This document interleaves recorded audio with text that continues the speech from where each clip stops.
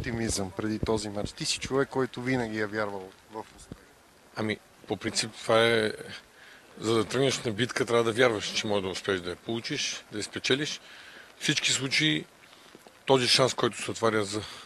в периода, в който българският национален безспорно не радва толкова, колкото ни радваше преди години. Силно се надявам и с късмет, мятам, че отбора на Унгария е от нашата черга, български футбол има нужда от малко шанс в този момент, защото нещата не са толкова черни, колкото ги описваме. Видяхте, два отбора се класираха в следващата фаза за Европа. Така че хората в България обичат много футбол и независимо, че гледам, че не е много посетен матч, дай Боже след един час да бъде по-различно. Да, еми загубена е вярата в българин известен с това, че следва успех.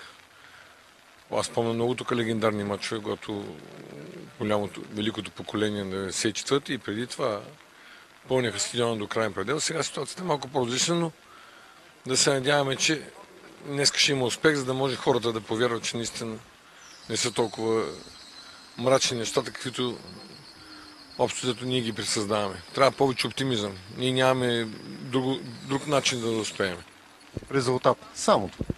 Ами резултат, много ми се иска да победим едно на нула, така да не могат да реагират накрая, ако може да.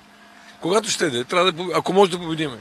И естествено в същото време не трябва по никакъв начин пък да обременяваме при евентуален успех футболистите.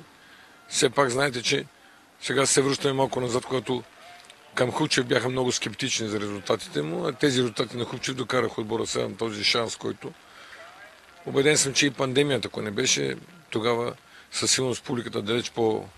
и когато беше времето за този матч, ама в крайна качество се съобразяваме с фактите, които ни изпраща съдбата.